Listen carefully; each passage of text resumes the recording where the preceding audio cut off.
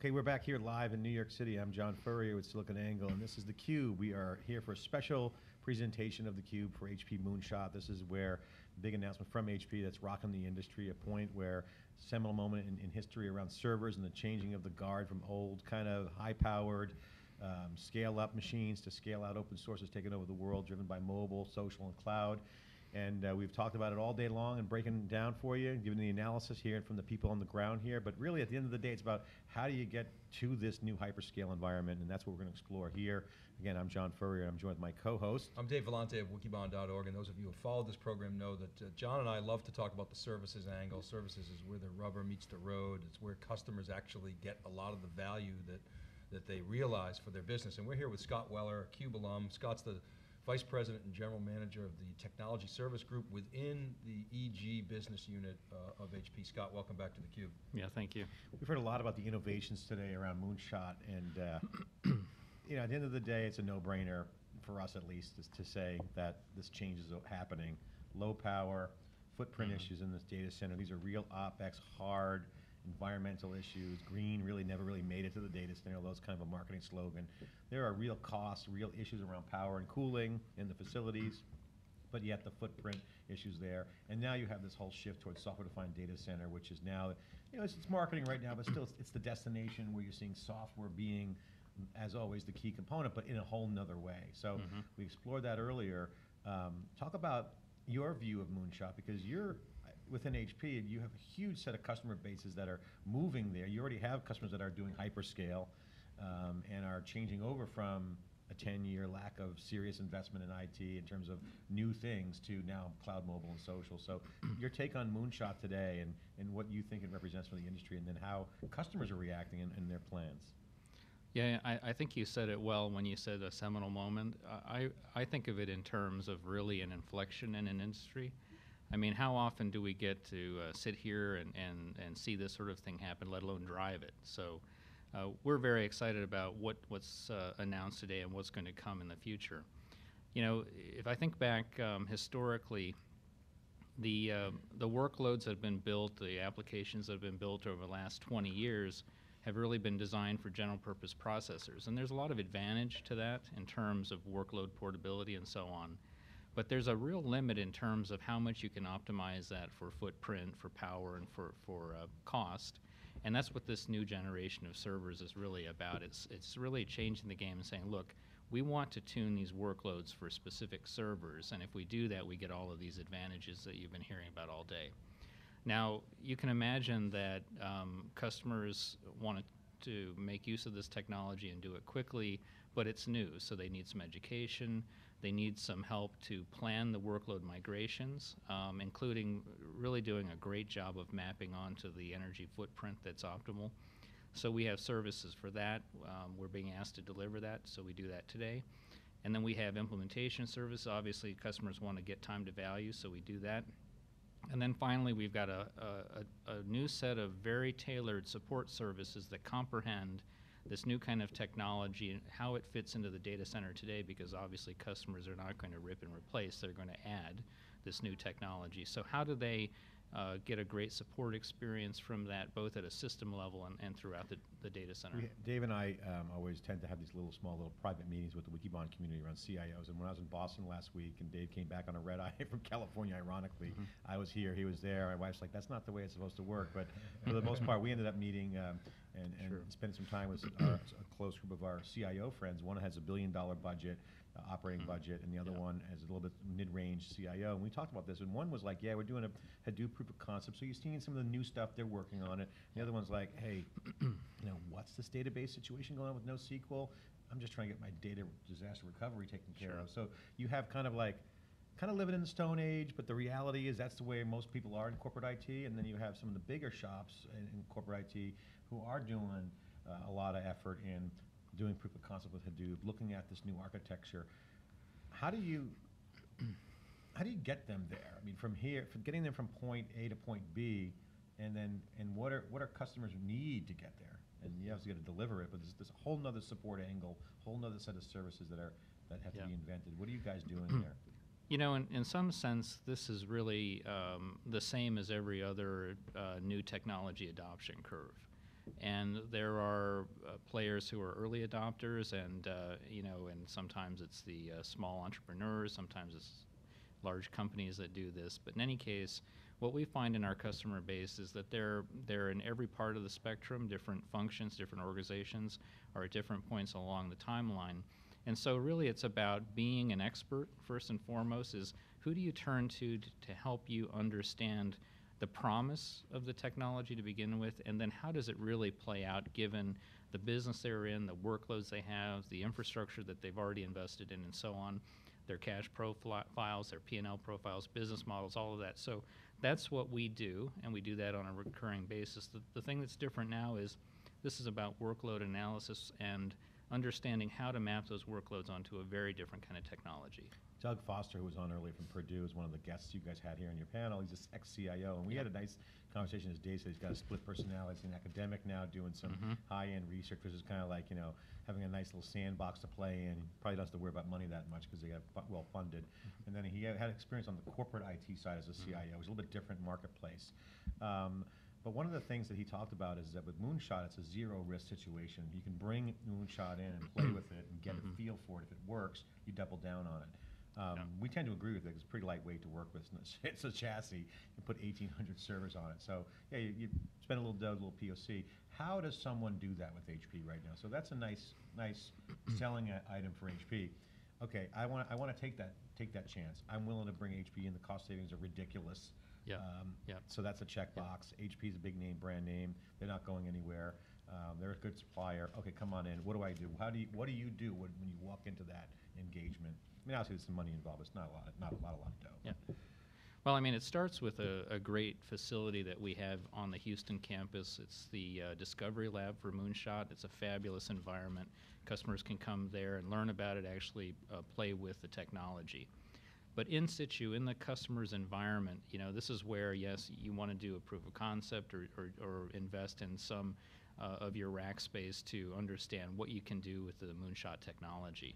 And, and really, it is, I think it is a small investment for uh, what could be a game changer. We believe is a game changer for the entire industry, but specifically, we know that there are configurations of Moonshot that are going to be a, a major um, improvement in every way for specific verticals and, and vertical applications. We've talked about some of those today. There are more to come, but in any case, it's the traditional, you know, advising around how to migrate workloads, how do you get the best energy footprint, how do you implement the thing so that you get time to value, and then how do you have a great support experience that's more personal, proactive, and simplified, which is, is our core uh, support message. So they come into the, your Discovery Lab, Mhm. not to be confused with Purdue's Discovery Lab. Correct. That is kind of the same name. Correct, So they kind of come in, they can kind of play with Yeah. it, kick the tires. But do you have specific use cases that you have with them that you can say, hey, you know, uh, given your Mhm. footprint or your configuration, here's how we can get it in there and, and integrate into their environment pretty quickly. Have you seen some of those use cases and can you share some? So, so the uh, the product that we're announcing today is really uh, tuned for sort of the edge of uh, the web, if you will, and uh, and uh, You mean devices and like Internet of Things? Uh, or- it- no, I'm talking about uh, the, the web front end to, uh, for example, a web retailer. Oh, okay, got it. So, so, so the, uh, th- that's what we're talking about today. But we do have a roadmap and a plan for different configurations that are tuned for things like big data analytics and so on. And we've talked about some of those today. So uh, you can begin to explore those different kinds of use cases in that environment. But again, the best place to do that is within the context of a, of a customer's business environment so that you get some visibility and some insight into what the real value can be. So that, to me, this, and we've been talking about this all day, is that this architecture is going to fundamentally uh, uh, take over the server, whether it comes from HP or, you know, uh, another, you know, set of competitors, which I would fully expect you're going to get. Um, and we talk a lot about hyperscale for Mhm. obvious reasons. Yes. Um, a lot, a lot of little smaller processors, right? So you think hyperscale. Mhm. When you look at the hyperscale guys, Scott, they're uh, from a from a management of technology perspective, they're they're just trying to drive unbelievable hmm. levels of automation down to the mm-hmm. point of if something breaks, they just sort they shrug. Right, You know, they wait right, till it all dies and then throw out the rack, throw Yep. it into the wood chipper, as they say.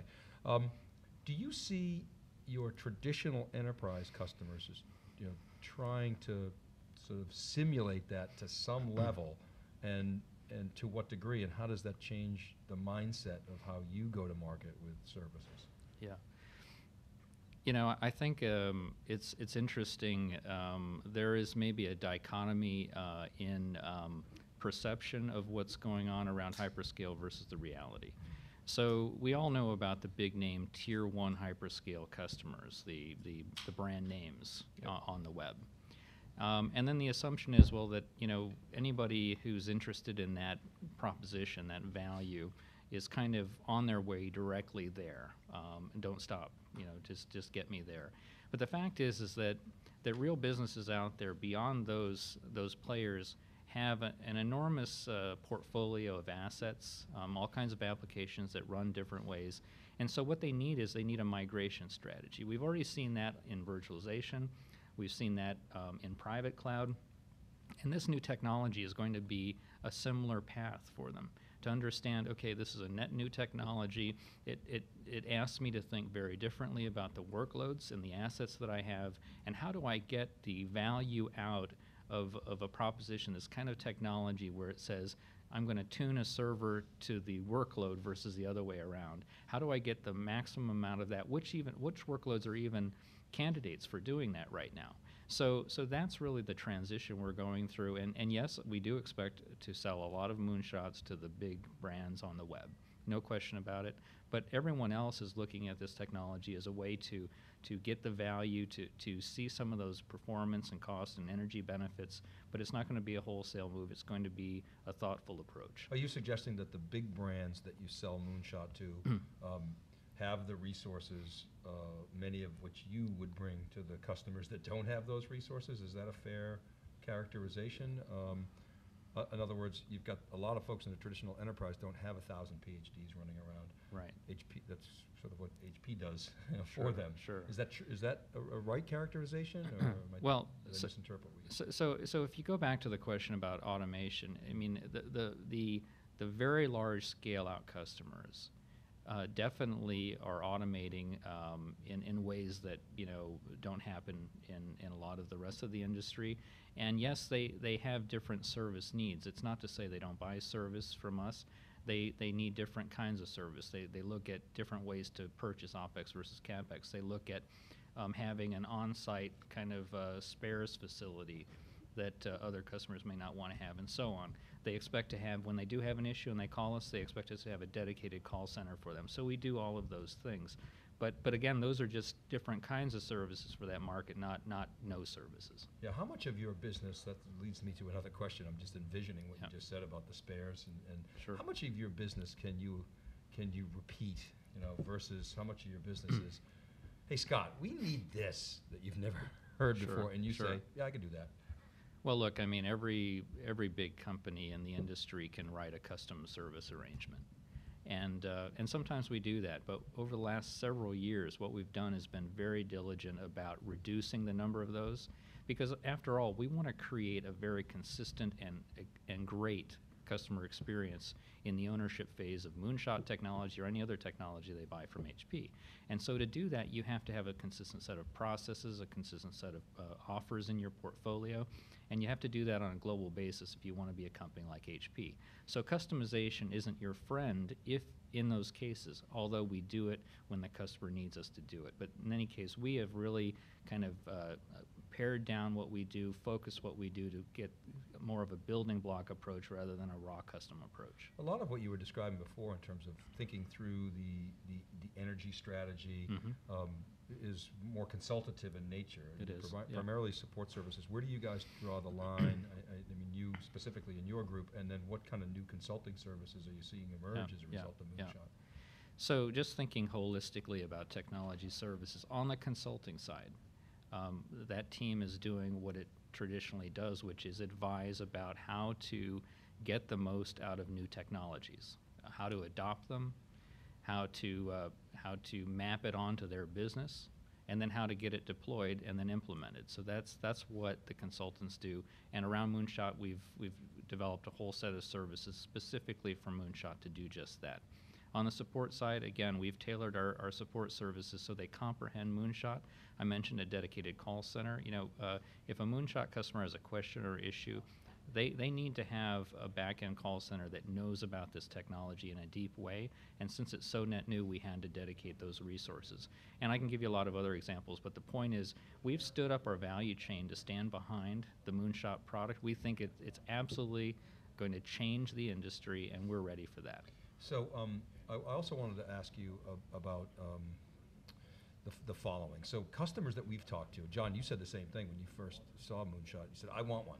So customers, it- Yeah, it, seems it's to me really- they- really an awesome When customers see It is, this thing, yeah. they say, "Oh, I know exactly what I want to do with it. It's I, want it for this set of workloads. Or I Mhm. just, you know, give me some because I Right. got to have that." Right. Um, not necessarily thinking through what the implementation nuance uh, associated with that. So, what kinds of things do you anticipate, or you know, from your experiences over the last, they say, 15 months, and then so the early Yeah. customers, maybe even your own internal experiences?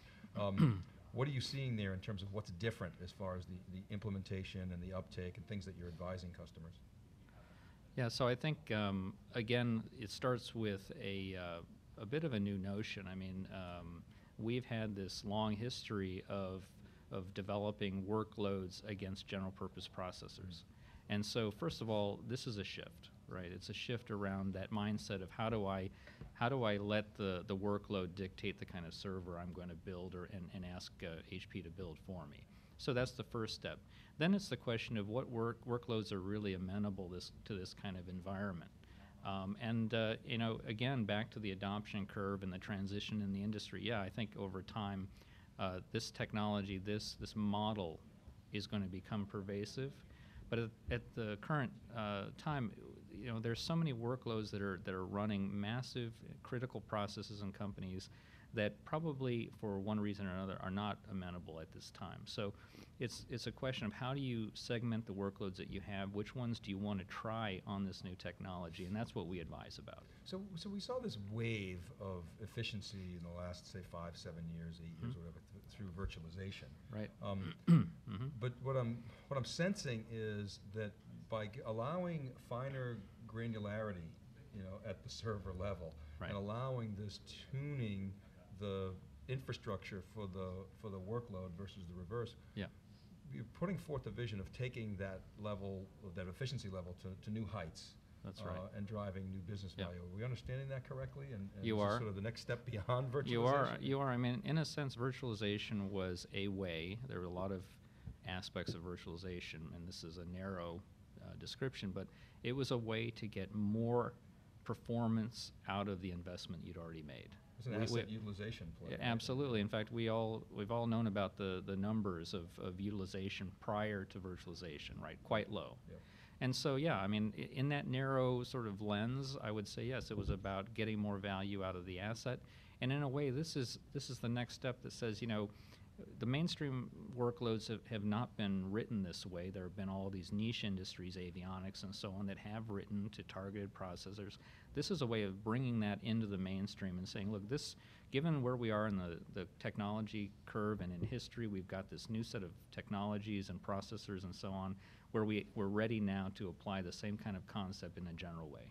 My final question, because we're getting close on time here, Scott, is, um, you know, there's a question on the, on, on the uh, webcast, uh, I think it was to uh, Savas, how has this changed your services that you offer? Mhm. Uh, I want to ask you the same question. How is Moonshot, obviously you're announcing a, a, a- a new product. Right. Um, But that, that notwithstanding, how does Moonshot change your set of services within the support and consulting organizations? Yeah. Because it's a game changer, it is an inflection point, it is a seminal moment. So how does that, Yeah. how does that change or enhance what you are currently doing with your customers uh, within HP Technology Services? So, um, what what I want to do um, in the support business is to really um, to continue on this path of simplification for customers. In in some sense, you know, if you have um, different servers for different workloads, customers may uh, think of that as is uh, bringing an, an additional level of uh, management for them, uh, a different level of uh, ecosystem for them. And so what we're on the path to do is to really uh, make make all of that sort of a seamless experience for them. You know, this shouldn't be about bringing more complexity into the environment. This should be about bringing all of the value around energy consumption, around cost and space efficiency, uh, and do all of that without adding layers of complexity. So, so part of what we intend to do, and we've already begun to do for our customers who are early adopters of this technology, is to really keep it simple, uh, keep uh, the experience very proactive for them and personalized for them, and then um, and then really uh, uh, just uh, remove all of the complexity that we can out of that environment. It's a great opportunity, certainly. We heard from one of our guests earlier, it's going to be extra innings. When I asked what inning are we in, they said, I don't know what inning we're in, but whatever it'll be, it will be extra innings. uh, meaning there's a lot I of agree. growth there and a lot of transformation. So, uh, Scott, thanks for coming back on the Cube, Cube alum, Yep. uh, breaking it down for us. Obviously, it's going to have a huge impact to um, channel partners, support services, a whole new set of portfolio. I'm sure this will just create a massive growth organically of new services, um, helping customers get to a new modern infrastructure. This is theCUBE, a special uh, broadcast live from New York City. John Furrier with Dave Vellante. We'll be right back with our next guest, so stay with us here at New York City. Right back.